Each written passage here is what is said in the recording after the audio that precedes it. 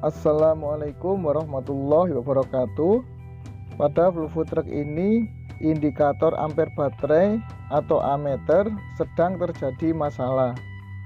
Bisa kita lihat pada display ini ampere baterai menunjukkan angka 100 ampere. Artinya terdapat abnormal pembacaan arus dari ampere meter pada Bluetooth Truck ini Kemudian kita lihat pada menu diagnostik.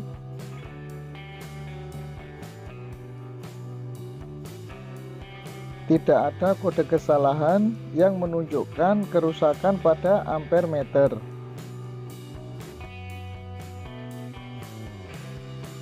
Pada full food truck yang lain yang kondisinya masih normal Pembacaan arusnya sebesar minus 4 ampere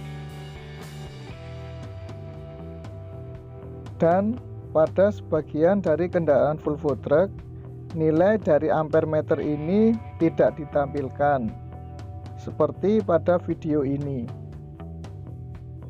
Oke teman-teman selanjutnya saya akan menjelaskan cara pemeriksaan dan pemecahan masalah pada kendaraan full food truck ini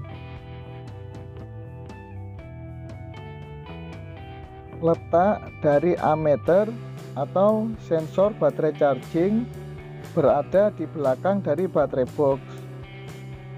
Ammeter ini dipasang secara seri pada kabel positif dari baterai. Jadi bentuknya ammeter atau sensor charging baterai adalah seperti ini. Berikut ini adalah konektor kabel dari baterai charging sensor atau ammeter. Jadi sensor ini mempunyai kode B27. Pada sensor baterai charging ini ada tiga pin kabel yang digunakan. Oke teman-teman, di sini saya akan menjelaskan tiga kabel pada konektor sensor baterai ini. Untuk pin nomor satu, kabelnya berwarna hitam. Kabel ini adalah kabel power supply untuk baterai charging sensor. Kabel ini menuju ke konektor PW pin nomor 10, kemudian ke konektor B pin nomor 30 pada instrumen panel. Selanjutnya untuk pin nomor 4 kabelnya berwarna coklat putih. Kabel ini adalah kabel ground. Kabel ini menuju ke konektor PW pin nomor 9, kemudian ke konektor GB pin nomor 2, ke konektor MB pin nomor 1 dan ke konektor B1 pada instrumen panel. Selanjutnya untuk pin nomor 2 kabelnya berwarna kuning. Kabel ini adalah kabel untuk baterai charging sensor.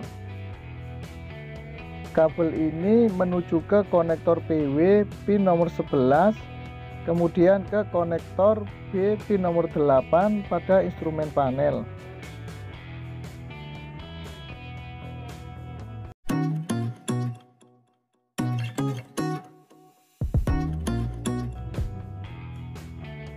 Sekarang kita pasang dulu spesial tool ini.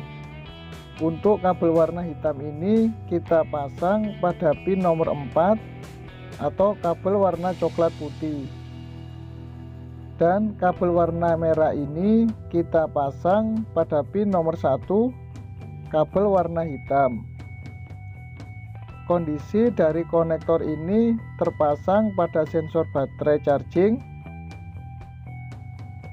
jadi ini adalah pemeriksaan power supply sensor charging baterai. Standar pengukurannya adalah sebesar 4,5 sampai 5,5 volt.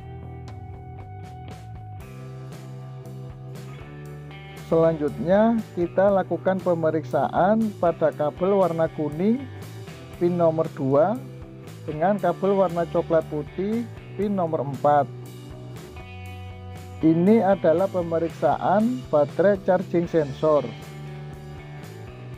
Standar pengukurannya sebesar 0,5 sampai 4,5 volt.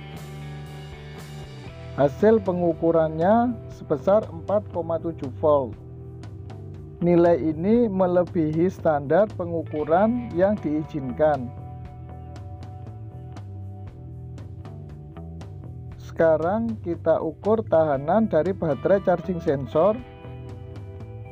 Kita ukur pada pin nomor 2 kabel warna kuning dengan pin nomor 4 kabel warna coklat putih.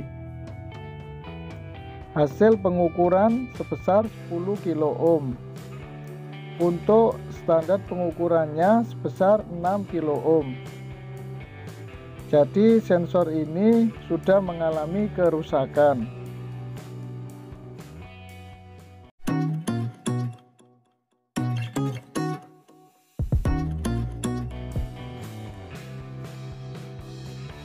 Sekarang kita bandingkan hasil pengukuran dengan Volvo Truck yang kondisinya masih normal. Hasil pengukuran ini menunjukkan tahanan pada baterai charging sensor sebesar 6 kilo ohm. Oke, teman-teman, di sini ada baterai charging sensor yang baru. Sebelum kita pasang, kita ukur dulu tahanannya.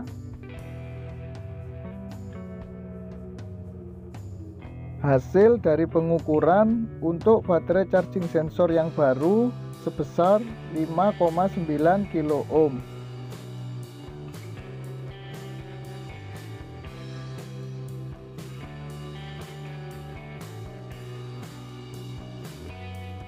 Oke teman-teman, sekarang kita pasang sensor yang baru.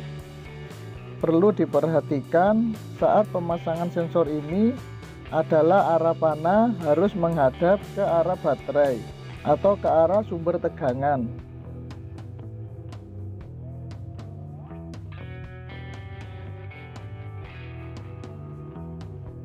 Kemudian jangan lupa kita pasang juga konektor kabelnya. Selanjutnya kita periksa pada display monitor.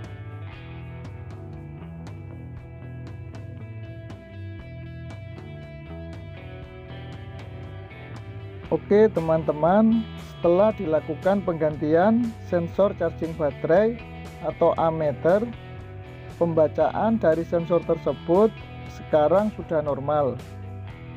Sekian video dari saya. Semoga bermanfaat. Terima kasih. Wassalamualaikum warahmatullahi wabarakatuh